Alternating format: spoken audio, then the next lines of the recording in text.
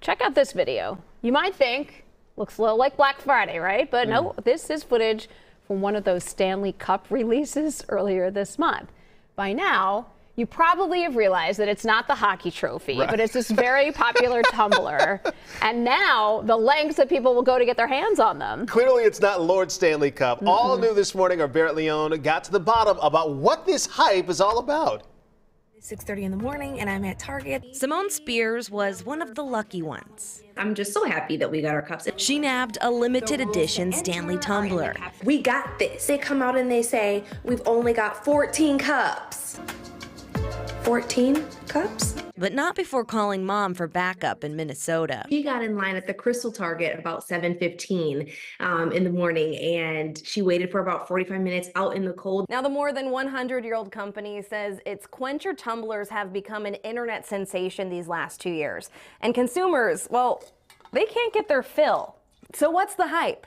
I don't know. I, I do know that the cup is stunning. It's absolutely beautiful. The trendy cup retails for about $45, but some who are able to grab latest releases, including Valentine's Day editions and the Starbucks Winter Pink Stanley Quencher, are now reselling them online. over a hundred responses. Like Jeremy half of them, Jones. Jones says he had every intention of gifting the cup until he realized the resale value. I think it is just insane. Um, but I decided, yeah, I might as well just take advantage of it and and and sell them. He sold two tumblers for nearly triple what he bought them for. And he's not alone.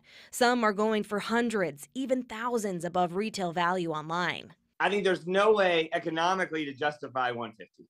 I think it's becoming an emotional decision. University of Minnesota marketing professor Joe Redden says while it's hard to predict trends, You know, it's not like this is a new thing. We've seen these several times. There's always the hot toy too. It's always the example at Christmas, right? he sees social media's influence and limited stock playing a huge role in the cup's popularity. And then I think you combine that with some of the scarcity that it, it had for a while.